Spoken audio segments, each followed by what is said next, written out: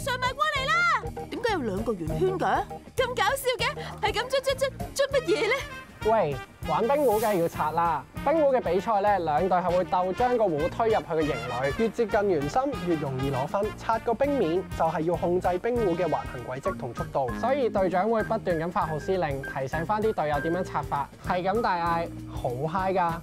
二零二二北京冬季奥运会二月四号开始，TVB 同你全程直击。